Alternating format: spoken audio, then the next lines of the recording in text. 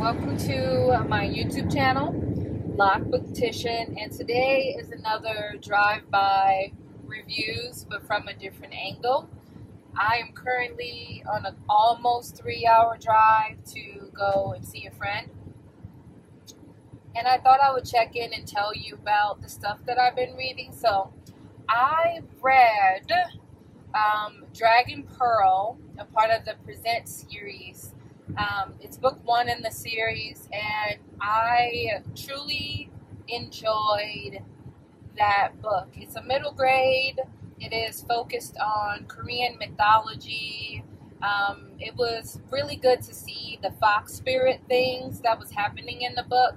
I remembered that I somewhere, I don't know where, I saw or heard of fox spirits, but couldn't remember until Nicole from Who Picked This Book pointed it out to me. In the book, I thought that there were multiple different things that is not always discussed in literature, specifically in middle grade novels. So it was really good to read a story that has non binary characters, that talks about gender in a different way or doesn't, that touches upon grief and how different people can experience it and kinship and what that looks like. So I really appreciate all those different things. I also am currently reading this book called The Verifiers by Jane Pek. And y'all, it's good. It's about this Chinese American who is a sleuth. There's some sapphic rep in it, but it's not like the the main part of the book. The main part of the book is solving the mystery of why this woman was killed. Um, and the sleuth worked for this like multi-millionaire um, dating website, and it's called Matchmaker, I think, or something adjacent.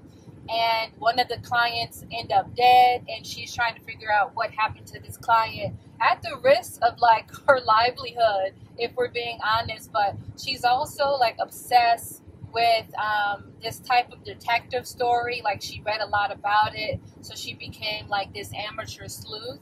I wish that there are going to be more books that is in this person's like um, world, but not really world, but like I want more stuff, like a Nancy Drew of sorts, um, from this character. And I don't know if the author is going to do that, but I am really loving the way the mystery is being played out the inner uh, monologue, and also like the difficulty of being a part of an immigrant family and also being queer and having to like deal with intergenerational trauma and coming out and thinking if you even want to come out.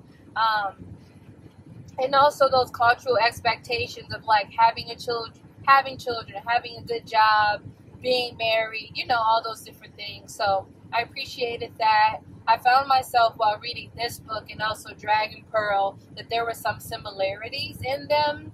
Um, and I think the similarities were when they were talking about like different types of zodiac that was mentioned in Dragon Pearl, um, and that was also mentioned in the verifiers. I'm also trying to finish Killing in C Sharp.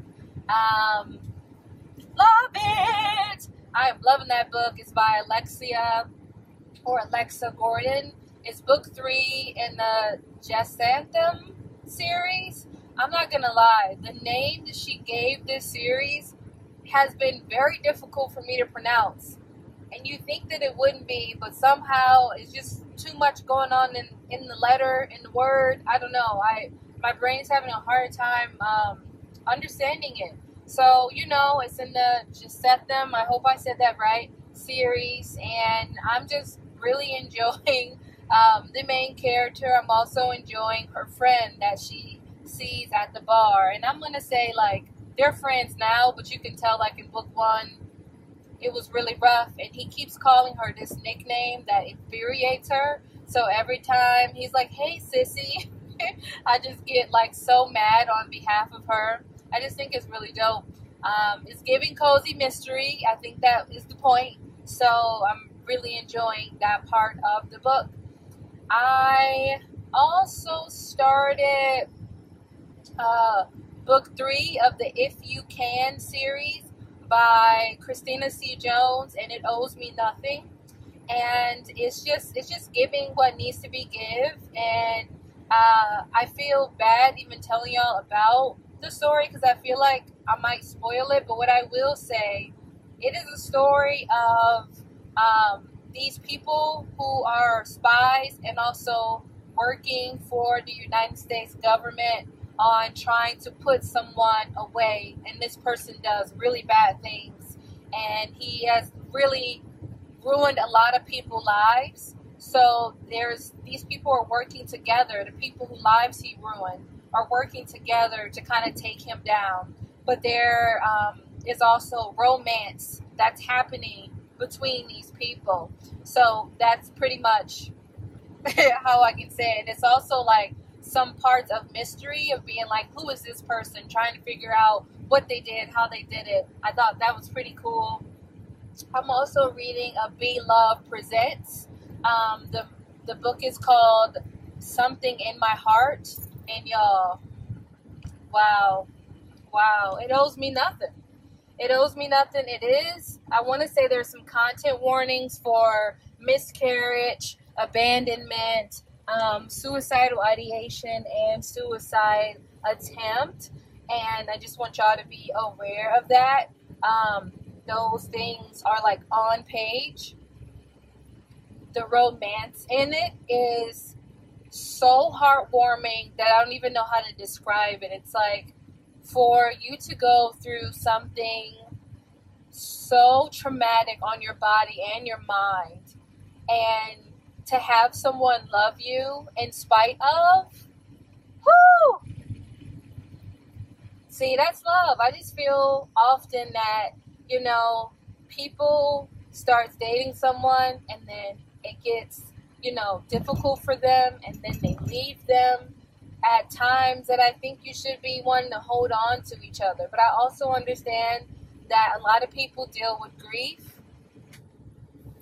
I'm so sorry you heard this um, radio playing the whole time, and I didn't even like think of it. So I don't even know how to edit that out. So y'all just gonna hear that radio, and then we're just gonna have to live that life.